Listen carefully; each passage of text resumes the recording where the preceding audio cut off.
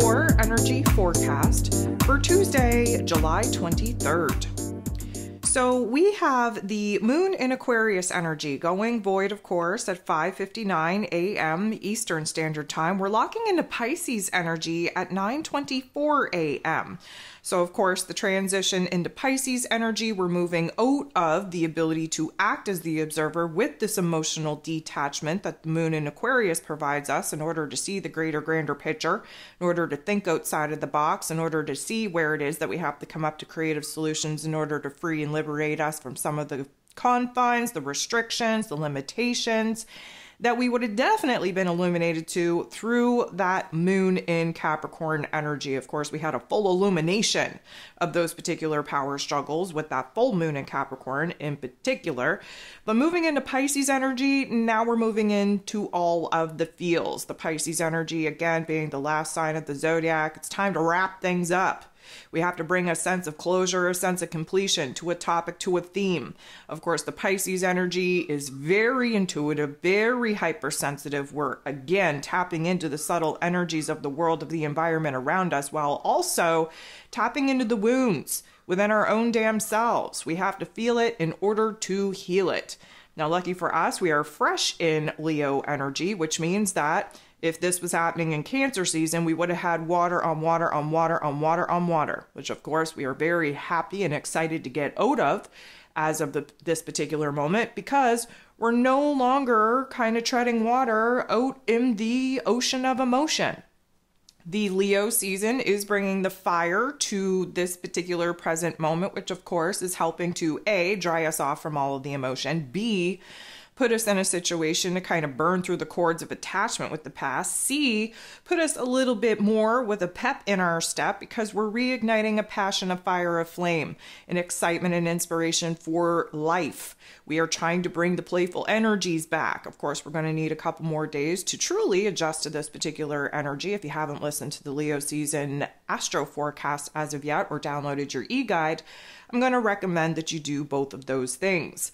But with the sun now in his rulership in this Leo energy, shining a bright light on our lives, where it is that we have to be bold and brave and courageous to do new things in order to create a different result, the moon in Pisces energy going to align us with our higher self, going to download us with a vision, a goal, a dream that our soul, our spirit is now calling us to do, calling us to pursue.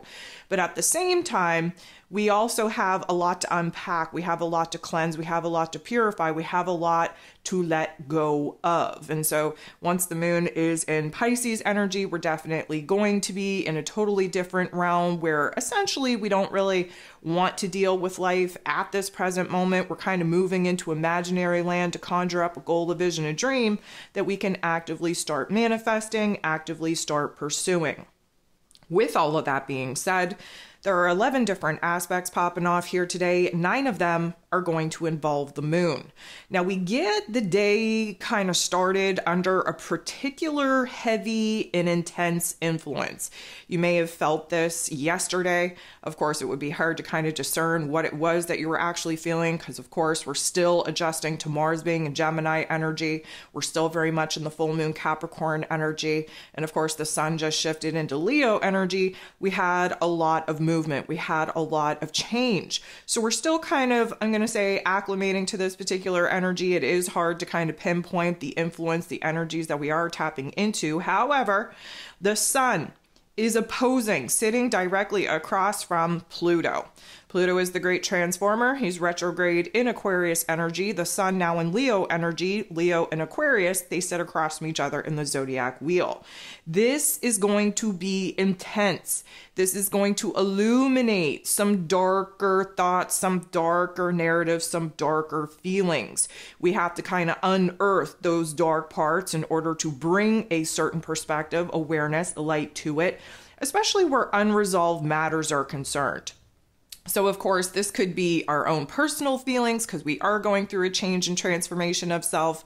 This could be relationship dynamics, especially where ones have popped off and in some cases have dissolved completely.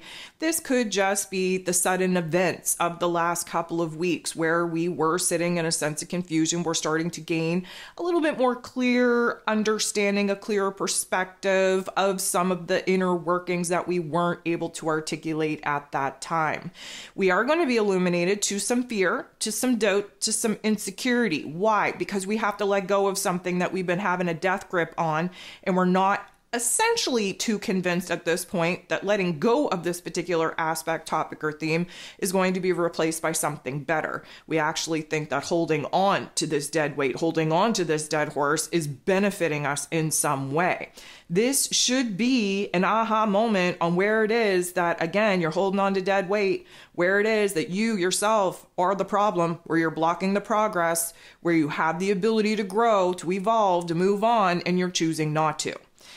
Does it feel good? Absolutely not. Is it supposed to? 100% no. You need to be illuminated to where it is that the power struggle is alive and well within you. You're fighting yourself. You're fighting your old self. You're fighting your old dreams. It's time to come to a certain term of acceptance. It's time to realize where it is that holding on to the old is only preventing your progress and moving on and moving forward towards the new. And this essentially is up to you. How long do you want to continue to immerse yourself in something that was never meant to continue?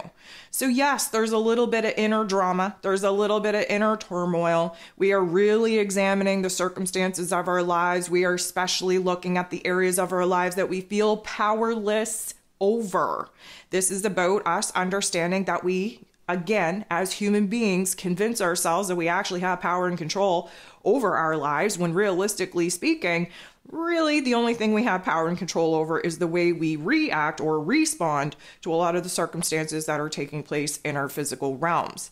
So, in order for us to actually tap into the higher self, tap into the creator abilities, tap into our power and control to manifest a physical realm that not only looks good, that feels good, you have to realize that your ego is holding on to old chapters old karma, old people, places, and things.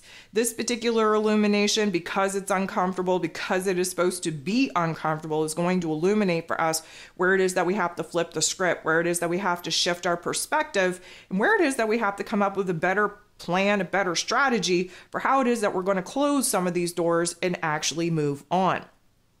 The moon in Aquarius energy, then going to get into the boxing ring, fight it out with Uranus. Uranus rules over this Aquarius energy, so this is going to be a little bit intense as well. Uranus being the great awakener in Taurus energy, a square is illuminating where it is that we're struggling, going through the growing pains.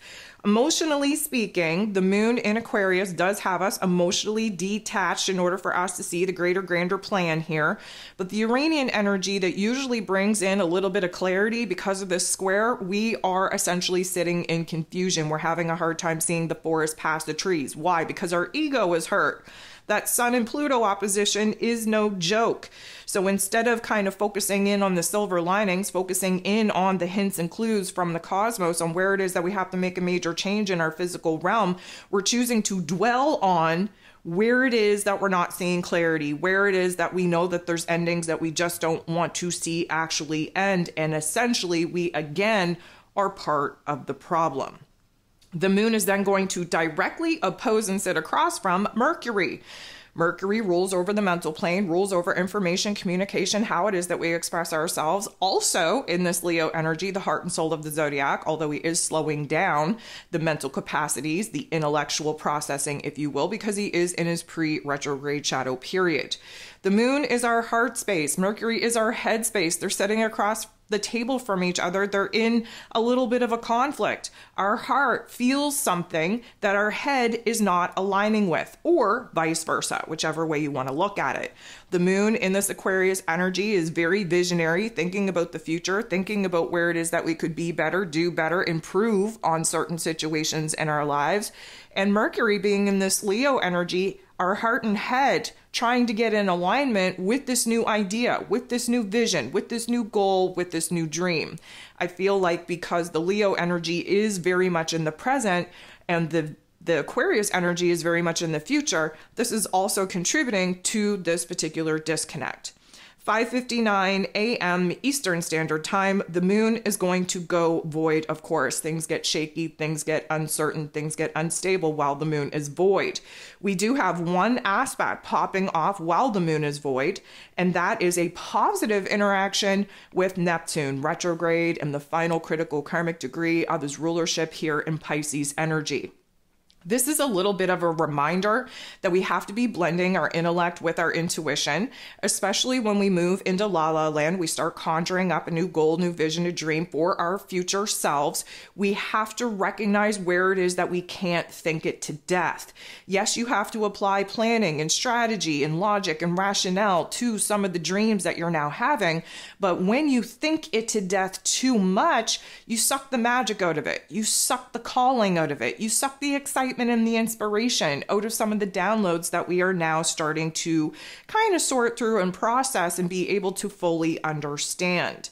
It is at this particular juncture at 9:24 a.m. Eastern Standard Time that the moon shifts into Pisces energy. We sit in that for approximately an hour before we have any aspects pop off. The moon in Pisces is then going to make a positive interaction with Pluto, who was retrograde in this Aquarius energy. So we're starting to see where it is now that we have the ability to close some doors on some heavy emotions, on some karmic chapters, on some loose ends that Plutonian energy is here to boss us up. It's here to show us where it is that we've been feeling powerless because we've been beating a dead horse. The horse is dead. It's time to accept it. It's time to bury it. It's time to move on. It's time to pivot and look for new horses. Basically, we are in an empowerment energy here, getting a grip on our own damn selves, recognizing where it is that as if we want to see a different circumstance, a different energy, all we have to do is stop looking back and start looking forward. The moon is then going to make a very tough interaction with the sun, fresh in this Leo energy. And of course, anytime that the moon and the sun are coming together, there's going to be an aha moment. There's going to be an epiphany. We're going to realize new wants, new needs, new desires. Now, this is an uncomfortable situation. So, the moon in Pisces, again, feeling all the feels, hella confused on where it is that we're supposed to go from here, overwhelmed to a certain extent, where we just want to kind of curl up in a ball and kind of wait this particular chapter out. The sun in Leo energy is trying to bring us back to life, trying to infuse us with happiness, with joy, with playful energy, with creative energy to come up with some solutions to where it is that we're closing the door, completing some chapters, and where it is that we need to move on. Again, does it feel good? Absolutely not. It's not supposed to. It is supposed to highlight for us where it is that emotionally speaking we're at versus where it is that our ego selves, our avatar selves desire to be. That gap, that distance is going to be the growing pains that we are now realizing we have to go through, what we have to grow through in order to get from where it is that we're at to where it is that we desire to be. The moon is then going to get into the boxing ring, square off with Mars. Mars is the god of war. He rules over physical energy, drive, passion, desire, even anger. He's fresh in this Gemini energy. Go ahead, take a listen to the astro forecast for that particular astro shift if you haven't already. This particular energy, again, emotionally speaking, we are looking back, okay? The Pisces energy needs us to look back in order to bring something full circle, to bring a closure, a completion point to an emotional cycle, to a karmic chapter. Mars, on the other hand, he has ripped the rear view mirror off of the car. He has no want, need, or desire to look back. He is only focused on the paths, on the options, on the opportunities that he has to move forward. Again, he's a Gemini energy, so there is a little bit of division there, weighing the pros and cons of those different options, those different variables. Mars is frustrated because, of course, he just got free of this Taurus energy that, of course, put us in a bit of a stagnancy over the last month ish. He's in this Gemini energy. He's pushing the mental plane to the absolute comfort zone in order for us to figure out what we want to do, what we want to pursue, where we want to go from here. So, emotionally speaking, we're still looking back. Mars, on the other hand, looking forward. Here's the divide. here is the tension, here is the conflict. We're trying to get on the same page, but the restlessness, the impatience that we're experiencing because Mars wants to move forward is definitely aggravating a lot of heavier emotions within us. Venus, the goddess of love, beauty, worth, pleasure, and money. She's in this Leo energy. She is going to make an awkward interaction with Neptune retrograde at the final karmic degree in his rulership in Pisces energy. We love this. First of all, Neptune is the higher octave of Venus. Neptune connects us to our intuition, to our spiritual cycles, to our karma, to our soul contracts, to our imagination, to our creativity.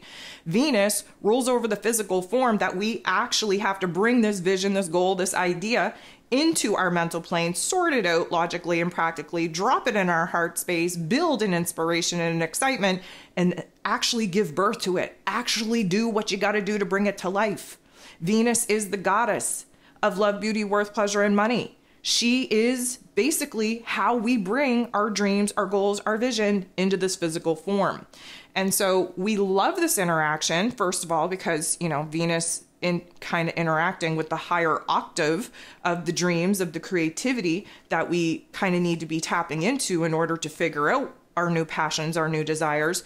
What we're getting here is, I'm going to say both a pro and a con.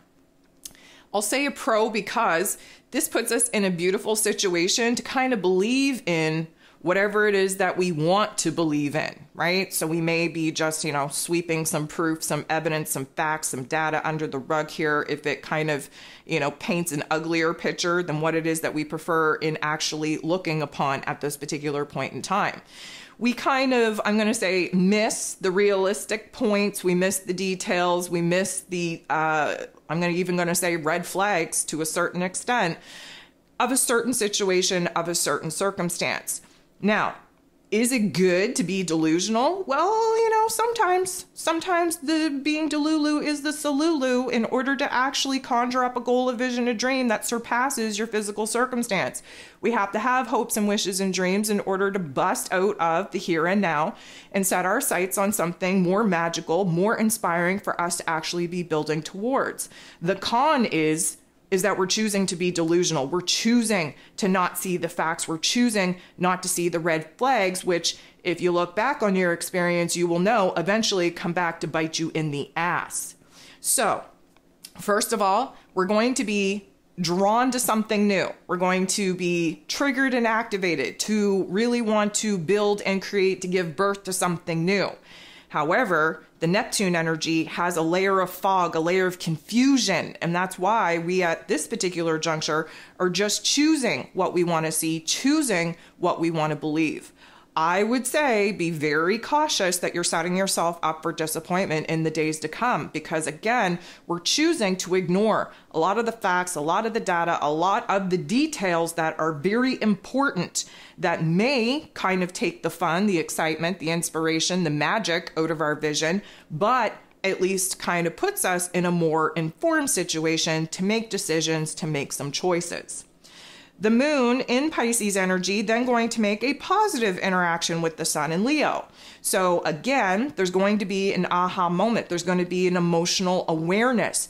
And in this case, because it's a positive interaction, it's likely going to be a light bulb moment on what we're excited for, what we're inspired to do, what we want to build, what we want to create. Again, the moon in Pisces, very imaginative, very creative, very dreamy the sun in his rulership in Leo energy shining a bright light on where it is that we have to be operating from our heart space, where it is that we have to be authentic within ourselves and actually be bold and brave enough to do the hard things, which just happen to be the right things, in order to break away from the old and actually start gaining a little bit of distance and proximity closer to the things that we want to build, we want to create, we want to be experiencing.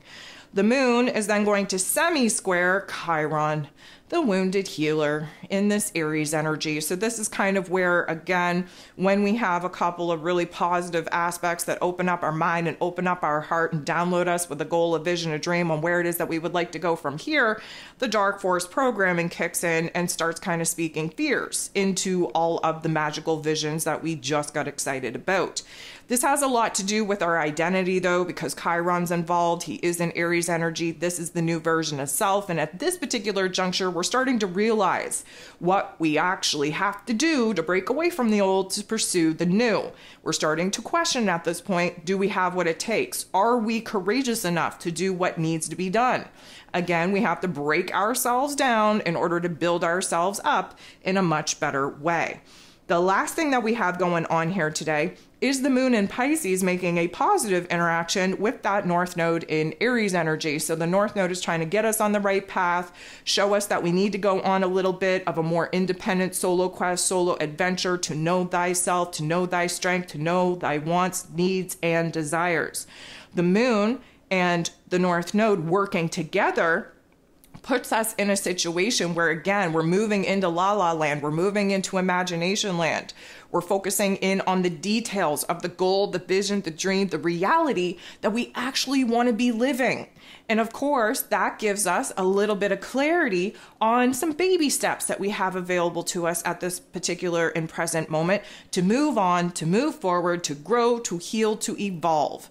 Now, granted, we're probably not going to take action upon those particular aha moments in this present moment, but this is about capturing the goal, the vision, the dream, infusing it with as much magic, as much excitement, as much inspiration as possible. We have to build our inner fire, our inner flame up in order to actually see the obstacles, see the challenges, see the blockages through.